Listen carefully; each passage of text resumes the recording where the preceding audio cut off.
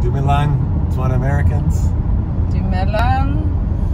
We're currently on a road trip from Wisconsin to Iowa in the United States, but we want to talk about why we decided to get married in South Africa. We just recently got married. Mhm. What was the date? March 20. It's debatable. Oops. Debatable. Is it March 24th or March 25? But I think officially it's March 25. First one I feel. Okay, you Yeah. passed that test. Okay. Okay. Uh, but why did we? We both live in America now, so why did we decide to get married in South Africa? Uh, hmm first reason. Had to be respectful to my culture. So, uh, Lobola, aka Dowry, uh, is Lobola is a, a, an African tradition, or let me just be specific and say Tswana tradition, which is the actual marriage in my culture as a Tswana person. And so we wanted to be respectful of my culture and have the Lobola, which is the African wedding ceremony, and um, how do you say, what goes around The actually- ceremony. and it, it fits with American culture too because oftentimes oftentimes you have the ceremony at the, the hometown of the bride anyway so in this case it was South Yeah. Africa so uh, that that part of it worked uh, Mhm. so we respected tradition Uh, second, Yeah, we respected both traditions, we right? actually respected both traditions Yeah. hmm Uh, I guess secondly, we can make we'll make a separate video about this. I think break down the cost and tell you why. But it was actually the same or maybe even cheaper to do this whole wedding in South Africa. Believe it or not, uh, even factoring in even factoring in travel. Factoring in travel and a mini honeymoon, right? And a mini honeymoon. Mini honeymoon. Yeah. So we'll do a separate video on that and and bear the um, share the actual cost of our wedding and compare it to the cost of a wedding in an average cost of a wedding in the United States.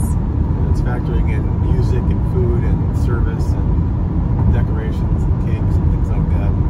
Right. Uh, average wedding in the U.S. is something like thirty something, thirty-five or thirty thousand dollars. So we, we did it uh, well under that. Mm-hmm. But we'll do that in a separate video. So tradition, cost.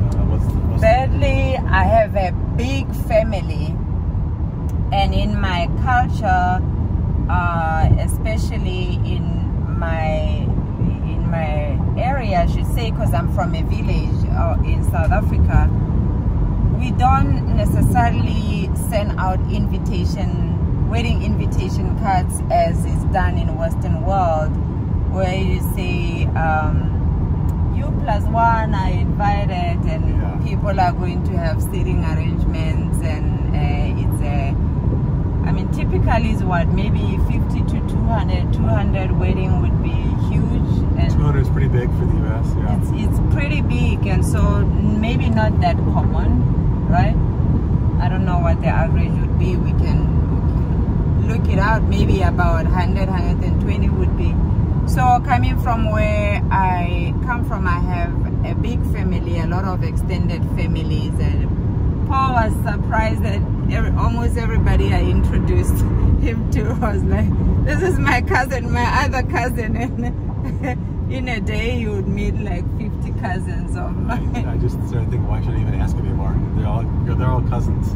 they're all cousins yeah so it would have been um, almost impossible to bring everybody to the united states to come to a wedding here uh, as opposed the americans i used to keep you know you can keep it intimate right Yeah. So we brought, you know, plus for the Americans, it was a great chance for a once in a lifetime trip to South Africa. Uh, and we brought, what, we bring 14, 15, 16 people along total, maybe. mm-hmm. Uh, and awesome, you know, like I said, trip of a lifetime, awesome, awesome experience. I think everyone would say that. And yeah, the extended family, and I think you touched on it, but people, there's a wedding in South Africa. People just show up. There, there's no invitations. It's just like hmm uh, you know, you can't, couldn't invite them all, and Yeah, particularly in a the village, same. though. Yeah, Yeah. a village wedding. Yeah, Mhm. Which was very interesting to the Americans because it's it's definitely something unusual, right? Unheard of here. hmm So those were the There reasons. go. All right. Peace out.